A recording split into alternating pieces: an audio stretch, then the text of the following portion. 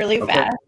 We're live. Good morning. Hello. Good morning. Very fast. I'm Katie from NLFX Professional. I am here with Thomas Heath from A Plus Entertains, and we are going to talk about uh, live streaming events and kind of um, the integration of moving forward. Uh, the hybrid events that we're talking about. So, Thomas, tell me just a little bit about yourself. Um, how did you get to where you are? What do you do? Okay. Who are you? Well, uh, good morning, good afternoon, good evening, wherever you're at. Uh, I started out, it, it was a part time thing. You know, I was working at a factory, and one of the guys I worked with, we were both into music, and we were both about the same age. And every time I'd go through his area, he'd ask me what song was playing. And again, because we're the same age, I'd know what they were. Eventually, we were having dinner, and he asked if we would, or if I would be interested in going with him to DJ a wedding. And I thought that's the craziest thing I've ever heard of. You know, I I was married, I had a DJ at my wedding, but I didn't think I never thought that would be anything that people still did, I guess but I went, and before the end of the night, I was on the, I was mixing music, I was on the microphone, I was absolutely hooked. And being a musician, I've been a musician my whole life. It was just an extension of of that. Uh, in about 2008, when the last world-ending thing happened, when the financial crisis happened, I lost my full-time job I was walked out to uh, my van and told I didn't have to come back tomorrow or the day after that or the day after that or ever again. So I took that opportunity and I got a college degree and took the part time business that I was working and focused a little bit more attention on that. My first wife passed away very suddenly in 2012 and I still had one of my kids was at home. We had we have two kids. And I decided at that point that I wanted to make this my full time career because I didn't want to miss any of the stuff that I'd been missing their whole lives. So at that point, we were I was actually called A Plus Digital DJs, and we were doing more than that. In 2013, we changed the name to A Plus Event Entertainment because it was a little bit more inclusive of live music and lighting and stuff like that. And now we're A plus entertains. We just changed over in the last couple of months. We did a rebrand. We we're ready to launch everything, and coronavirus. Right. So, still full time. I'm still a full time entertainer, master of ceremonies, DJ. We have a photo booth company. We have a decor and design rental company my wife runs. Oh, fun and so right now i'm in my i'm in my showroom and living my best life in spite of all of this stuff that's happening because we're living in cancellation and postponementville so you know just trying to figure out ways to pivot what we do. So i have noticed that you have been um, promoting and doing quite a few uh, online uh, virtual events can we talk a little bit about that and how that idea kind of um, came about and the things that you're doing to implement that? Absolutely. So, like many DJs, many DJs, that first week of quarantine was supposed to be, I was supposed to be presenting at Mobile Beat for the first time ever. Mm-hmm. And so, after we did the virtual Mobile Beat presentations, I was asked to DJ for eh, one of the mobile beat, you know, the virtual mobile beat type things. So I, you know, got everything hooked up and that first time was a hot train wreck of a mess because I've never tried to stream online before, so I didn't know how to do that. So after talking to a bunch of other DJs that had been doing it or were learning as because we were learning as we go, and we're still doing that with our stuff now. Found a system that worked, and thanks to Zoom updating constantly the way that sound is uh, reproduced, it now sounds really what sounds really good. So I did it a couple of times. And there, another thing that we were doing prior to this is we do something called Singo, which is music bingo, and that's uh, tablet based. And I, we were doing it live every Thursday night. We were doing trivia every Tuesday night in our small community. You know, the city I live in, the population is 5,600 people on a good day. And we were so we were doing that with our community and the community was clamoring for this because it was it was literally how we get through winter up here is trying to be together and with 80 people in a in a small restaurant in the middle of a blizzard just diehards just diehard fans of this product. So i figured out a way to make that work online. So now we're doing that online every Thursday night. Where I'm utilizing Zoom, a Zoom chat room. I use OBS to change the uh, the way my screen looks, and basically I can just do so many things. I can put their names, the names of the winners on the screen. I can put sponsors of prizes on the screen. And I'm just using doing that. We're using my DJ controller and you know my microphones and all that good stuff too just to make it as good of a product as possible does that answer your question? It does. Um, I, I do have a question for you. Uh, so how are you hooking up your dj controller to your computer to run the software the slingo software? What that's are you great, using? Huh? That's a great question. Uh, so one of the things that was prevalent right right I mean right now is the inability to get stuff. Yes. because it's really hard to get things. And living in a community like I do, it's even more difficult. You know, we have two music stores in town. One of them was loading a truck yesterday. He's out of business. The other one I called on a random whim, looking for somebody told me to you to get uh, the quickest way to do it was to get an iRig two. Yep. And you utilize that. And I thought, well, nobody's going to have one around here. So I'm going to have to order one. Then trying to order one online, there were none anywhere because they everybody was snatching them up because everybody's streaming now. So everybody's got to have that piece of gear or whatever or they have more time on their hands to use the iRig 2 for what it's actually designed for, which is utilizing an iPad or an iPhone as a, an amp emulator. But it works. And I called one of the music stores and he said, I actually have one. I said, I'll be right there. Right. I walked, I walked in. He said I was his second customer of the week, which was sad. Yes. But true. And mm-hmm. so using that coming out of the RCA from my MCX 8000 into the iRig 2, the iRig 2 plugs right into the laptop and good to go.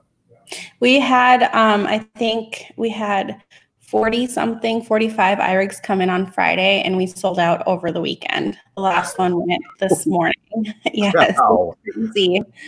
Yeah. I mean, the, yeah, the interfaces, I mean, once you get them, they're just completely gone.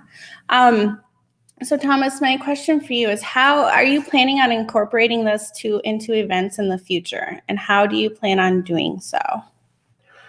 So, one of the things that is prevalent or you know obvious for DJs in all, you know, all things that we do is being able to pivot on a moment's notice. Mm-hmm the biggest question that we have right now, and as an industry, the biggest question we have right now is what in the heck is a wedding going to look like when we get to that point? How are we going to incorporate 200 plus guests into uh, Jane's wedding when we can only have 50 people there, or we can only have 25 people there? what we are working on and literally today after i get off this call i've got my i've got some of my staff people coming in we are working on a way to have a wedding reception that is more than and I, I hate to talk about it because i don't want people to do it badly before I get the kinks worked out. More than having a computer with Zoom on in the corner of the room, Mhm. that's not the same. It- you have to make people feel engaged with in what's going on. I, I envision this being a lot more like a like a television program than a Zoom chat. We're going to be utilizing different pieces of gear. We're going to be utilizing multiple cameras. The master of ceremonies is going to be almost a television show host for this, bringing people in, engaging people that are on the other side of a pane of glass. One of the things that I saw this weekend was the Graduate Together 2020. Mhm. And Jason Alexander did such an amazing job of making that glass not be there when he was talking about his experience and he was talking to, not at, he was talking to the people that were watching that show. And that has to be part of this. It can't just, like I said, it can't just be a camera, like a fly on the wall watching things happen, Mhm. or people are going to check out. We just talked about this, right? Mhm. Short attention span. You have to keep people engaged. You have to, or they're to change the channel, just like in television. So, Art, do you have any um, ideas right now of how to keep people engaged? Once, so let's start with the gear. Let I have many questions. let's start with the gear aspect of it. Um, what do you plan on incorporating so you can use those multiple cameras? Um, are you going to use like a video switcher? What are you going to be doing to bring it all together to uh, export to, to Zoom or whatever software you choose? So the first iteration of this is going to be separate cameras that are all connected to a Zoom with the moderator, which we're going to be calling our producer, is going to be controlling what people see. Because in Zoom, you can spotlight different videos. So you can spotlight the video of the host who is going to say, Friends and family, guess what? I just talked to Justin, and in about five minutes, the ceremony is going to start. He is so nervous, but he doesn't know what kind of flowers she has because he she didn't want to tell him. What kind of flowers do you think they're going to be in the bouquet? Put them in the chat. We'll be back in just about five minutes. Now that's a lot different than a Zoom chat wedding reception that's making people think that's making people be engaged Mhm. and then during that you know i'll you know we'll send you to the cocktail hour area where luke is spinning some tunes that were hand picked by the two of them because they wanted to show you what kind of music they heard on their first trip to the grand tetons it's just it has to it has to be engaging katie it has to be Mhm. or people are just going to leave. So for now, the, our first iteration is going to be uh, separate cameras, so iPads that have the ability to connect to a Zoom call with a producer at the helm changing between spotlighting videos.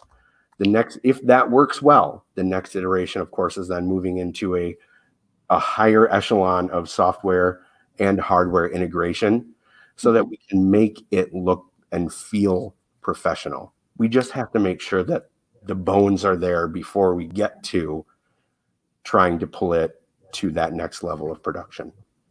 So then, with the audio, let's say, for example, the ceremony, you you'd have an iPad on the bride and groom, obviously, and then are you going to pull the audio from your mixer? Exactly. Right. And the beauty of what we're planning on doing is the fact that we have a showroom space that can hold, surprisingly enough, about 50 people. Okay. And my wife owns a decor rental and design business. So we have farm tables, we have chairs, we have charger plates, we have all of those things. We have ceremony arches, we have a, a moon gate, which is a circle arch. It's about six feet tall, seven feet, something like that. Big. It's a big round thing. a big round thing. I like it. A big round thing that's golden. It's on Pinterest. That's all. Like that's all I know. Okay. that's all that matters. she knows all that. Shannon knows all that stuff. I don't. So that's fine. But anyway, so we have the ability, and we have uh, you know high speed internet, high speed cable internet here. So we have all of that that ground floor stuff mm-hmm. to be able to pull this off and to see if it's going to work. Right. If if it works, it's going to work. And then we have to figure out if we can do it on at different locations as well. Mm-hmm. Something to offer the people that are really, really uh, just devastated by their wedding not happening on 620 2020 or you know any of those other iterations of the crazy numerology we had this year for one of our busiest seasons to date. And now these people have to find different ways to celebrate. So even if somebody wants to do a ceremony like this we can still make it engaging. The host will have his own will have his phone. The host will have his phone which can connect to the zoom chat. So it looks behind the scenes it's just different ways of making this engage as engaging as possible, different and meaningful. So my next question for you is let it it comes together, it works great. Okay. How are you going to plan on how do you plan on marketing it? Do you plan on um, offering it at your space or marketing it to the venues or to the brides and grooms? How do you plan on marketing this new um, service that you're going to hopefully offer in the future? So we are about to have a contest here in the local area for an elopement giveaway. And what that is, is people are going to go on Instagram and they're going to post their original wedding date and uh, tag the other vendors that are in this post. You know, it's uh, Instagram boosting kind of a thing. And then we're going to randomly select two couples. Well, the this there's a there's a third option that is kind of on the down low where we offer the the digital wedding here. I hate calling stuff virtual. Yeah. Because it's not. It's real. It's really happening. It's just more of a digital version or an online based or an online internet trying to find a better way to call that eh, better thing to call that than a virtual wedding or a zoom wedding. But micro weddings i believe are going to be a big thing in especially in our area. We're a highly destination wedding area. We've got like 90 90 to 95 percent of our events are destination weddings. So it just has to eh, again like it's hard to market something when you can't fake it to make that be a thing. So it's hard to be able to do that when I, until I can have a bunch of people in here. Mm-hmm. So we're, you know, our, my a couple of people in my staff are 14 day locking down, so we can come in here and try to recreate what this will look and feel like. Also using video footage from past weddings and from other uh, vendors. But that's where this is going to take off. Is that that that's our launch point? Is this online contest that's going to be on the local news and that kind of stuff? I really, I, I, think it's a great idea, and I'd love to see behind the scenes stuff because I'm like, I love behind the scenes to see how things all come together for a finished product. I love that. You're a gearhead. Yeah, a little bit. Hanging out um, with Ben helps with that, I'm sure. Right. Um, I do want to say, guys, if you have questions for myself or Thomas, write them in the comments. I am monitoring them here on the side. So if you have questions about gear, um, marketing strategies, anything, just let me know. I'd be happy to address them. Um, so, Thomas, we do have a few more um, minutes left. So, what if you could give advice um, to people wanting to to get into this? Where would you say that they should start? Probably the the starting point would be knowing what you're good at, and as far as doing the virtual or the online, that kind of stuff, it's having the ability to engage and be engaging. When I did the mobile beat presentation, the online version of it, it was the weirdest thing I've done in a really long time. I watched a little bit of that. Talking to nobody. Because and but now I can it's a little bit easier because now it's starting to become the new normal. Mm-hmm. Normal. But being able to be engaging and being able to bring people in and actually making them care about what you're saying or what you're doing or what you're presenting and making them feel like they're there with you. That's the biggest thing. If you can't do that, it's just best to find a different way to uh, pivot. You know, we're it, we're entertainers at heart. And I saw somebody posted something about this being the end of the interactive MC. And I have to say that it is the furthest thing from the truth. As masters of ceremonies, as event hosts, as entertainers, it's no longer going to be enough to be a good DJ. You're going to have to make people care about the words that you say. You're going to have to make people care about what is going on around them because you might not be able to have a dance floor at your wedding. You might not be able to have 200 people at a wedding. So every moment that every moment that you're in charge of has to be made as memorable as possible. And the master of ceremonies is going to have to be the one to do that. I like that because and it also it brings people together who are there and online and it just kind of makes it all mesh very very well. All right. So if you have ever watched any Katie cast, you know, the last question of the day belongs to my son who is nine. He will be 10 on May 30th, but I do have it written down.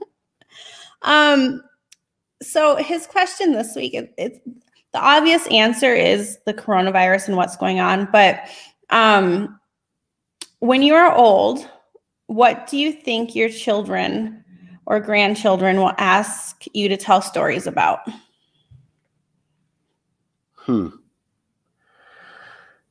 Well, uh, my situation uh, would be they might ask me to tell them about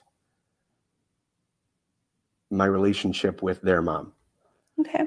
And where where how that formed and the the details behind the excuse me the dating and the courtship and what it was like having them, you know, as children and how I feel about them as children as well.